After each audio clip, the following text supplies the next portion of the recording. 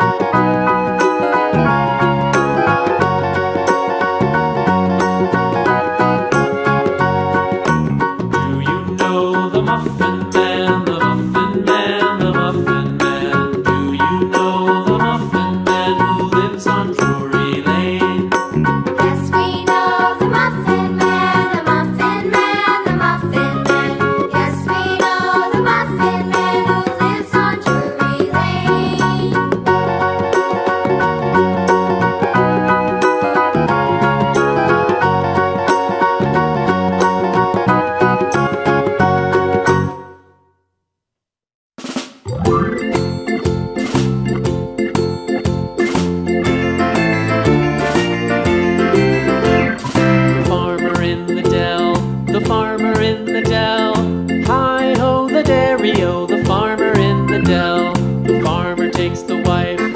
The farmer takes the wife. Hi ho, the dairy o, the